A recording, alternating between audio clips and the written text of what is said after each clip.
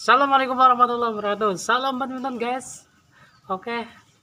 Sebelumnya saya ucapkan selamat berpuasa. Dan sudah ini sudah perkiraan sudah enam hari atau ya enam hari di bulan puasa. Semoga kawan-kawan semua, saudara-saudara semua, teman-teman semua istiqomah menjalankan ibadah ini dan memperoleh kemenangan setelahnya artinya istiqomahnya berlanjut terus gitu ya. Ketakwanya bertambah dan sebagainya. Amin. Oke kali ini saya akan coba mereview raket old zaman.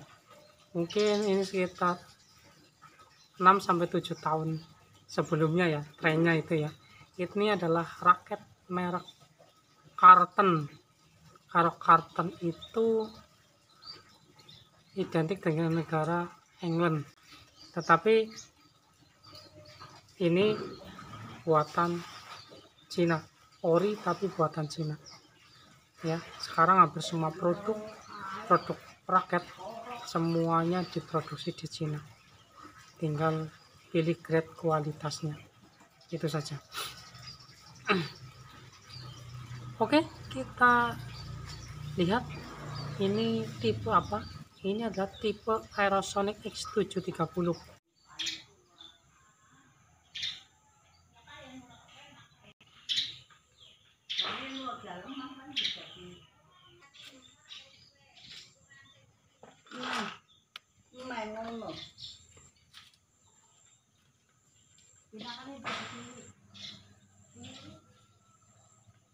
Tawang apa sih ngomong hari? Karang ani batire. Latane batire. Ya aduh kok dikira. Ini diurutnya kembali.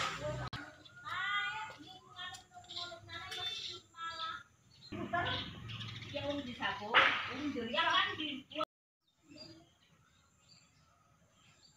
dan X70 selintas kita pegang ya saya pegang ini memang raket kontrol ya. Rata-rata raket karton itu raket kontrol itu di rank balan poinnya adalah 280 sampai 290 ya. Itu karton nanti kita coba lihat ini berapa balan poinnya. Tapi kalau dipegang memang antara itu ya. Termasuk Kevin balan. Oke kita lihat spesifikasinya.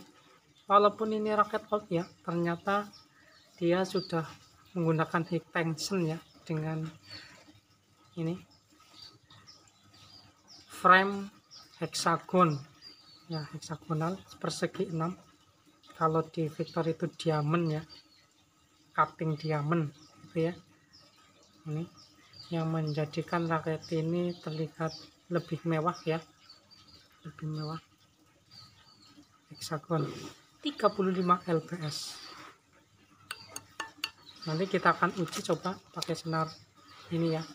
Sekitar 28 lps saja lah. Kalau ini bunyinya kencring maka bahan di dalam raket ini bagus. Itu saja ya saya bisa mengujinya seperti itu. Ya. Itu framenya ya. Oke kita finishing lihat finishing frame salah satu kelemahannya adalah uh, finishing apa karbonnya itu ya. Ini masih kurang bagus kurang halus ya. Kurang halus. Ada beberapa apa ya yang tidak sempurna itu. Tapi cuma seperti titik-titik saja ya.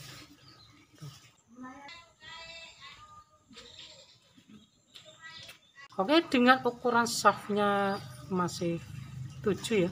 Ini 7 bukan yang slim ya 69 sampai 7 lah.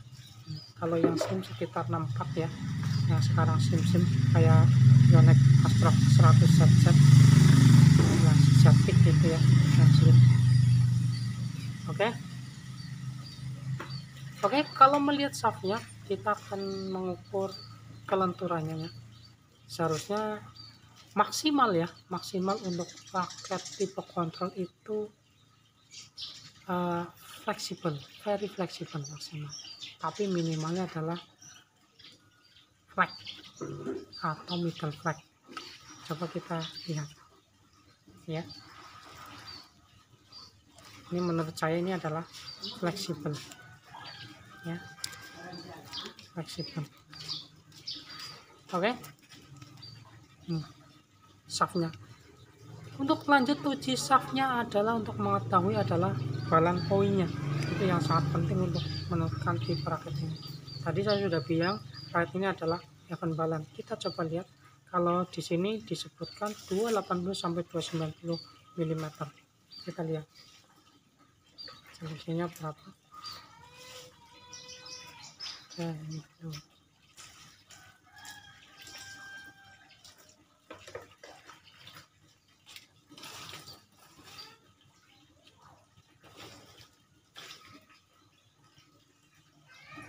Oke, di angka 7 nya 730 kita lihat. Ya pas banget 290 ya 290 ya di rank maksimalnya 290 290 jadi raket ini memungkinkan ya dari segi ininya bisa untuk semas ya ada tenaga untuk semas. Beda dengan yang 280 sampai 285 mm balan poinnya ya itu full control. Oke. Okay? untuk selanjutnya ya masih shaftnya kita lihat uji torsinya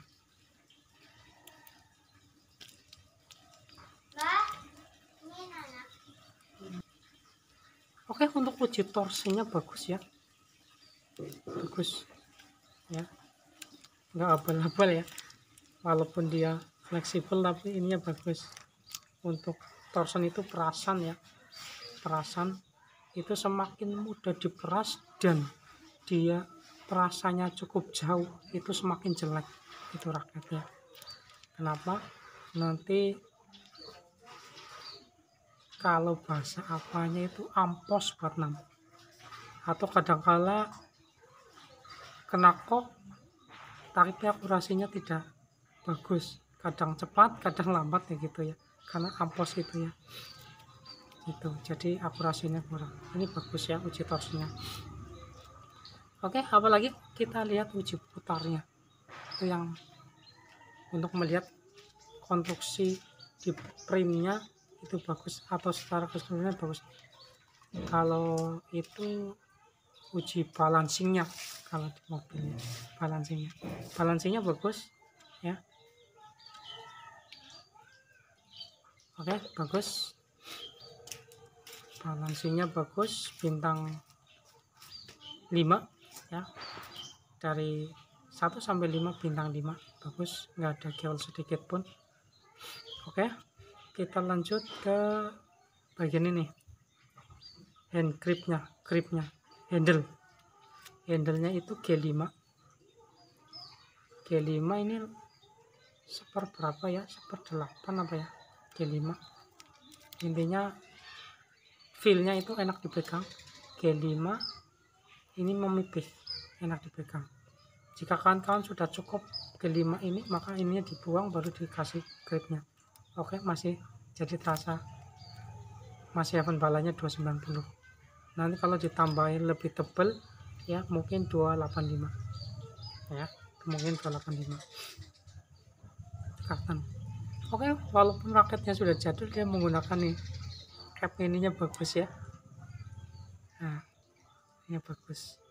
Tidak seperti Yonex pelit. Ini bagus. Meling. Oke. okay kemungkinan itu saja ya. Sebelumnya silakan teman-teman komen ya. Komen atau ah, mungkin ada yang sudah pernah pakai ini silakan di share ya. Ini raket di rank harga 300 sampai 400 ribu ya. Oke ya. Ya. Oke. Itu saja. Kita lihat suhunya oke kalau ini raket ya masih tergolong kontrol suhunya tidak begitu terbebani ya. Enak ya untuk apa defense juga enak ini juga enaknya nanti tinggal kita uji ini ya pakai senar apakah dia kencing atau tidak. Oke jangan di skip dan diapa-apain nanti biar eh, pas di senar terima kasih